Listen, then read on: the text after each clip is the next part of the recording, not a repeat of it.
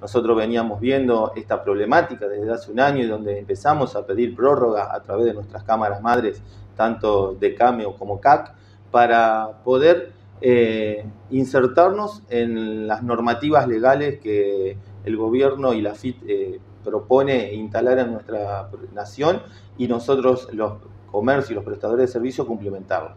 Hoy llegamos a un cuello de botella donde ya hoy por hoy tenemos que decir que estamos eh, incumpliendo la normativa, pero no porque los comerciantes querramos incumplirla, sino porque nos vemos en la imposibilidad de poder adquirir estos eh, dispositivos.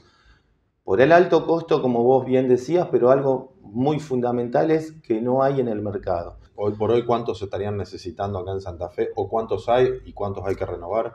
Tenemos que renovar todo el plantel, eh, algunos ya se han renovado, hay algunas eh, acciones que se pueden hacer, que se pueden hacer facturaciones online, que a través del Banco Nación eh, hay unas líneas de crédito para poder hacer frente a estos 120 mil, 140 mil pesos que sale cumplimentar la normativa.